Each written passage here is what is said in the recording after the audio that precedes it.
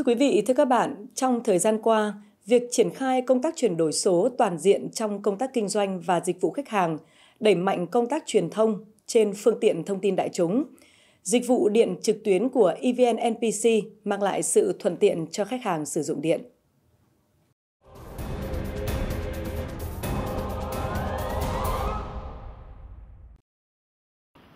Tính riêng trong 9 tháng đầu năm 2022, toàn tổng công ty đã tiếp nhận giải quyết cấp điện cho 1.909 khách hàng trung áp, giảm 3,22 ngày so với quy định của tập đoàn và giảm 0,37 ngày so với cùng kỳ năm 2021.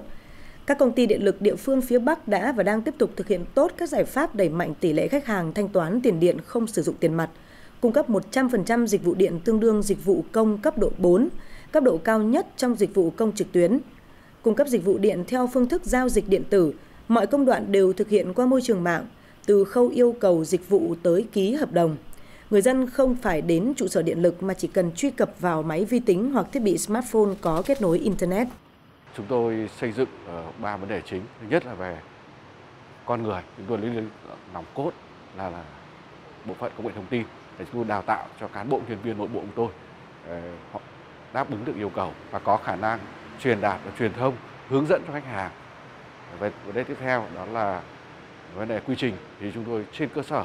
các hướng dẫn của tổng công ty thì chúng tôi ờ, biên soạn và cụ thể hóa thành các cái quy trình quy định nội bộ của chúng tôi để cho cán bộ nhân viên nắm được ờ, một cách chắc chắn và để triển khai được đến các khách hàng theo hướng là tương tác ờ, nhiều với khách hàng. Còn về thiết bị và về hạ tầng thì chúng tôi cũng quan tâm và củng cố hạ tầng công nghệ thông tin. Tại công ty điện lực Bắc Ninh, chuyển đổi số đã được áp dụng mạnh mẽ trong công tác kinh doanh và dịch vụ khách hàng, luôn hướng đến đáp ứng tốt nhất các yêu cầu của khách hàng đặt ra, tạo cho khách hàng một không gian số có thể tương tác, đưa các yêu cầu và theo dõi việc thực hiện yêu cầu qua hình thức trực tuyến. Đến nay tại Bắc Ninh 100% hợp đồng mua bán điện được chuyển sang hợp đồng điện tử, xóa bỏ toàn bộ quầy thu tiền điện truyền thống để chuyển sang thu tiền điện không dùng tiền mặt, đạt 100%. 100% các trường hợp khảo sát cấp điện mới đã được thực hiện thông qua máy tính bảng. Thời gian qua thì ờ, tôi thấy ngành điện ờ, luôn đổi mới ừ, công nghệ và ứng dụng công nghệ thông tin nhằm phục vụ khách hàng. Chỉ cần ờ, ở nhà cũng có thể thanh toán, tự mình thanh toán được tiền điện, giảm được thời gian chi phí. Hiện tại bây giờ về công tác chuyển đổi số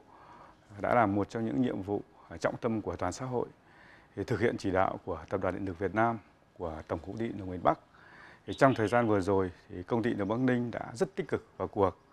và đã hoàn thành, tính đến thời điểm hiện tại thì đã hoàn thành tốt à, các cái nhiệm vụ trong giai đoạn 1 của tổng công ty giao cụ thể là đã hoàn thành 8 cái nhiệm vụ trọng tâm, đặc biệt là một số những cái thành tựu à, cơ bản về áp dụng các cái công nghệ mới và tự động hóa trong cái lĩnh vực hoạt động sản xuất kinh doanh. Tại PC Bắc Giang, thời gian qua cũng đã nỗ lực cung cấp dịch vụ điện theo hướng số hóa toàn bộ hoạt động kinh doanh, dịch vụ khách hàng.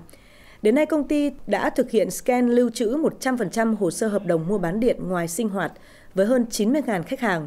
Số hóa đơn 441.000 hợp đồng mua bán điện sinh hoạt, đạt tỷ lệ 89,3% và dự kiến hoàn thành số hóa 100% trong năm nay. Trong 10 tháng năm nay, có hơn 1,2 triệu lượt khách hàng thanh toán tiền điện không dùng tiền mặt với số tiền hơn 5.000 tỷ đồng, chiếm 80% số tiền phải thu.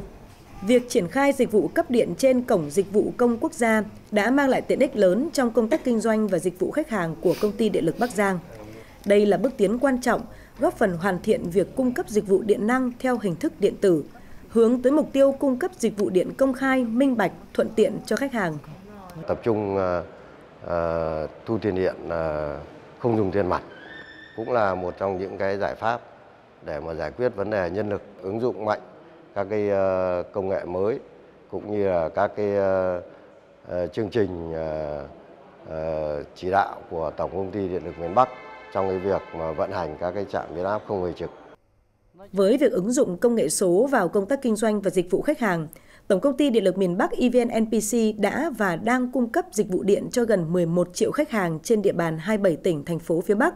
một cách thuận lợi, đảm bảo công khai, minh bạch. Tổng công ty đã chính thức cung cấp 100% dịch vụ điện trực tuyến, đánh dấu bước chuyển lớn trong lĩnh vực ứng dụng công nghệ thông tin vào công tác kinh doanh và dịch vụ điện năng,